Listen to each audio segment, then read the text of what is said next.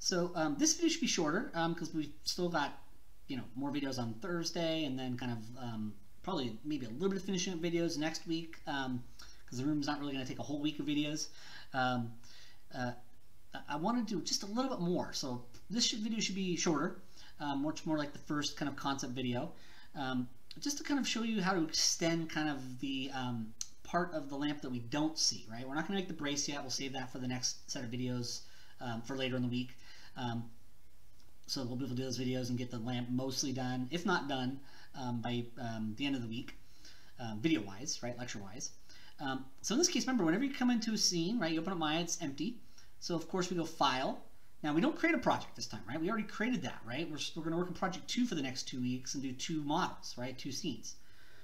So in this case, this case, I go to set project though to make it the active project. So I go file set project, and then we go to project two. Remember, you don't open it, you just select the folder, hit set. There we go. And then we go file open scene, and there it is, project two lamp. Boom. Don't save. Continue. There we go. And it loads up the reference image and everything, right? That's important. That's kind of one of those important things, right? So, uh, loads up everything. Now, in this case, what I wanted to do is I just wanted to make the part that's going to go eventually to the light bulb. We're going to save the light bulb and the brace for um, the next video lectures for later in the week. But I did want to kind of make, because there's going to be a little more of this lamp that we didn't see that's going to go up here. Now the cool thing is this is mostly going to be that extruding border edge stuff we did for our bedpost, right? Remember how we kind of extrude border edges in the bedpost, kind of, right, create stuff? Um, we're going to do that, right? So that's just going to give us a little more practice at that. Um, but I am going to show you a cool feature of multi-cut, and that's actually kind of the big thing. So I just wanted to kind of show you uh, a neat feature of multi-cut um, and give you like a little example of that. So it's kind of more just a way to show you some new tools that you can use on this stuff. But the core of it's going to be what we actually have already done before with the bedpost. We're going to do more. We're going to do more extruding border edges on stuff as we go along um, this semester. Now in this case, what happens when I have a lampshade that's going to be in the way of doing this work, right? And also you'll notice I don't really need the reference picture anymore at this point, right? It's good to still have it in here, but all the stuff that I really need it for, the lampshade and the lamp base, is good. So at this point, what I can do is I can select this object. Um, remember, you can hold down shift and click on the edge to select the image plane also. If you still want it up, you can do that. Um, probably won't hurt just to give us an idea where the lampshade's at. And remember, there's this guy right here, right? The kind of little blue dotted box, kind of white cursor that's called Isolate Select. It is in the show menu over here, isolate select, right? There's a quick key for it. Um, you can do bookmarks for isolate select stuff. So you kind of can have some options there for it. But there is a button right here. And remember what this does is it's a great way to just show what you're working on, right? It didn't delete anything. It's just showing only what you had selected, right? Remember, you do have the ability to display, hide, and show. I kind of showed that in some earlier videos, right? Um, but you want to probably take advantage of Outliner with that, right? Windows, um, outliner, right? So that way any objects that are hidden, you can select them in here and unhide them. Uh, usually they'll be darker gray, right? You see how these are kind of all regular gray, but anything that's hidden will be kind of like a dark or much more muted gray. Uh, so remember, uh, display does have proper hide and show features, um, but in this case, I just often find it's easier just to use um, isolate select in Maya, right? Um, so that's that guy, and that's a toggle. So if you want to show everything again, you just click on it to undo it, right? So this shows everything again. But in this case, like I said, I just want to select kind of both of these, isolate select. Oh. Remember, hold down shift so you can select on the edge of that one. There we go. There we go. Now, if you don't want outliner to be up at all, you can just right click on the word outliner here, close tab, so you can have it up or down when you want it. And I'm going to click on the, the lamp, right? Just left click on it. Remember, hold down button, make sure in object mode, and we can left click on it. All right. Now in this case, I want to kind of zoom in a little bit, right? Alt, right mouse button, right? Alt left rotates camera. Alt middle, if you hold down the scroll wheel like a button, right, is move.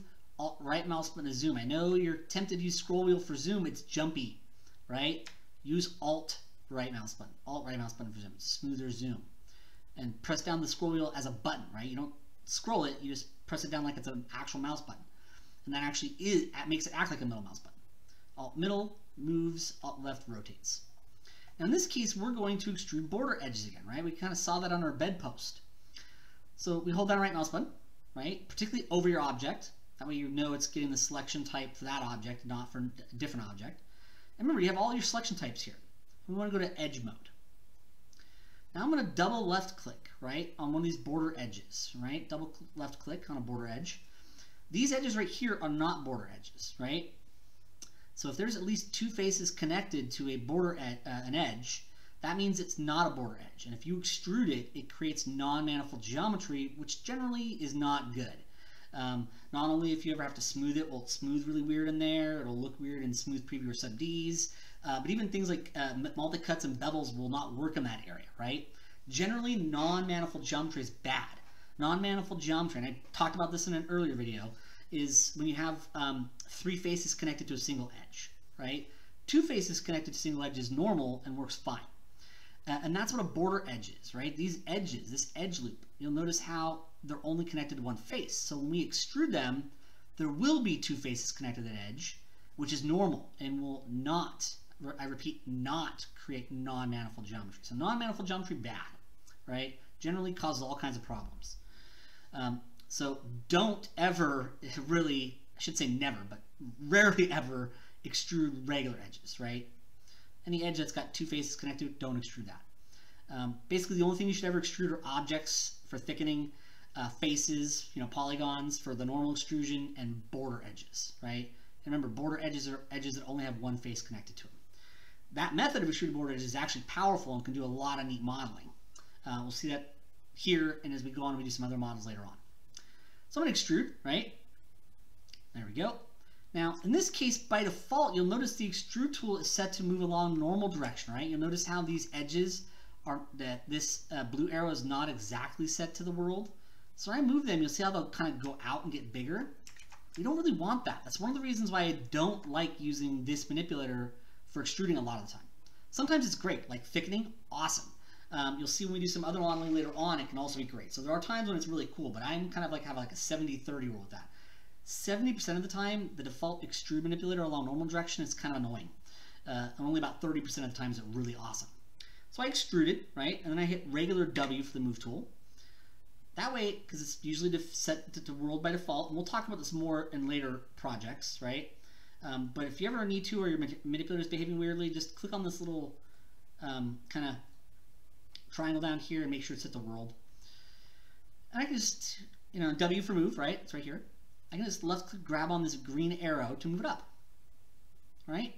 Now in this case, I might not want this quite as thick as that, so I might even hit R for scale, right? And remember, you can grab that that center guy, right? There's that light blue one in the center. If you left click drag on that, that scales everything in the same direction. Although that green square will do basically the same thing also. So we can kind of bring this in a little bit to kind of make a, a thinner shaft for what's going to connect up to the light bulb, right? And I moved it up a little bit just so it gives us a little bit of rounded curvature there. And I can hit extrude again. And I hit W for regular move tool so it goes to world, right? Uh, default, usually the move tool set to world. Because we want to move these straight up. And now you'll see what I can do is I can just kind of move this shaft up to kind of create the part that the light bulb is going to go into, right? So believe it or not, you could start with and build most of your lamp with revolve, but then the section maybe where you don't have a picture, you might find it's just a lot easier to do it with extrude border edge. Now remember, F is your quick key for frame selection. F, right? A is fit all, which fits everything. F is frame selection. You'll see they are kind of here, right? Frame all, frame selection, and you see the quick key for frame selection right there. And that's great because it zooms in on whatever's selected, and that could be an object, an edge loop, faces, vertices, whatever is selected, right? Multiple selection types support F for frame selection. But it does zoom your cursor in on the selection, and it does uh, zoom your camera in, and it sets your camera rotate around the selection. So it's a great way to kind of focus, if you will, on what you're working on, what you currently have selected. Now in this case, I want this to be a little bit bigger to go around the light bulb up there. So once again, we'll do some more extrusions. Remember, Control E is the quick key for that. Control E. I'll hit W for regular move, move it up a little bit. I'm going to hit R for scale. Grab that center one to scale it out a little bit. Remember, don't grab on the regular handles, right? The, uh, the red and dark blue ones. Don't grab on those because it'll make it oval. And then you go, why does my lamp look oval? Well, you weren't careful when you selected your scale tools. So when you're doing this stuff, and you notice how my symmetry is off, how, symmetry off for this stuff, guys, right? I, I did start to show you guys symmetry on the bedpost the other day, right? But off For this stuff, you don't really want it on. We'll see some symmetry on the lamp, but not right now. Particularly when you're working with stuff that's kind of cylindrical in shape, kind of uh, uniform cylindrical shape like this, symmetry is going to do weird stuff to it. So have symmetry off unless you really need it. In this case, that's why we're using the center one or this one because it'll scale along two or all three and that keeps it nice and circular. So let it extrude again. R for scale because I want to make this wider, right? Extrude again. R for scale, make that a little bit wider. W for move, move it up a little bit because see I'm kind of trying to create my own little rounded corners here. Extrude again, W for move, move it up. Because this is going to kind of be where the actual light bulb goes, right? And yours can be a little thinner than mine. I'll hit F for frame selection again. And I'll extrude. W for move, move it up a little bit. R for scale. Remember, left click drag on that center one so it scales all three dimensions at the same time, making this smaller, right? So if you scale it out, it'll make it bigger. If you scale it in, it'll make it smaller. Depends on if you drag to the right or the left, right? And then I'll extrude again. R for scale, scale this in. And then of course we can extrude again. R for scale, scale in a little bit. W for move to move it down a bit. And then extrude again, W for move, move it down. So this is just extruding border edges. That was it. We've done this before, right? And we're getting used to our extrude tool. It's a great way to create new geometry that we can then move somewhere um, to create a whole extended structure, right? Um, and we used move because by default set to world. And we used scale. That allowed us to easily change and shape the, the size. So to make things wider, like in these areas, right, it was just our scale tool. But to make things kind of taller, it was our move tool, right? So this is really just was extrude and we used move and scale to create shape, right? Now in this case, I've got these rounded corners and they're, they could be a little more rounded, right? So this is where I wanted to show you your multi-cut with a new feature. So I'm going to turn multi-cut on. And we know that if we scroll down, right, we have the snap percentage size, which is set to 50. But you'll notice that there's something right below that called edge flow, right? Edge flow. Now I'm going to click on edge flow. The default controls for this should be fine, right? You can control the tension if you want to more, the number of subdivisions, um, but the default's 181 and 1 should be fine. But you notice this is a check mark that we can turn off and on. Now, if I have it off, right, so I'm going to leave it off for the moment, and I go up to here and I hold down control, right? Because remember, if you hold down control, that puts it into edge loop adding mode. And then you put it over the curt, the edge that you want to add it in. It's going to go perpendicular to, right? In this case, I don't want to put the edges this way. I want to put it this way. But remember, it, it does depend on the edge over. So if I add an edge loop right here, you see how it stays flat? And there's times when you're going to want that, right? Where you just want to put it in and it stays flat. If I turn edge flow on and I hold down control, it puts it in and pushes it out a little bit to round it. Oh, that's cool, isn't it? So you see how I can kind of go in here and round off these corners a little bit just by checking edge flow on.